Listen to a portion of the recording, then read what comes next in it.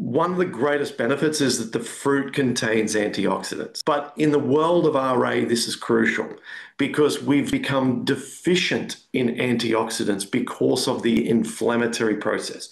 When your body is in an autoimmune state, which all of us have, the autoimmune process generates free radicals.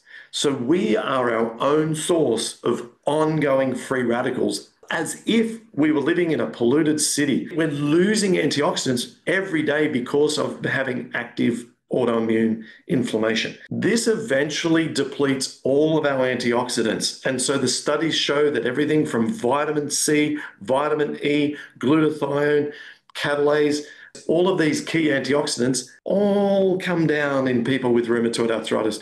It's like having a, a leak at the bottom of the bucket because we're in inflammation every day, losing antioxidant resources every day.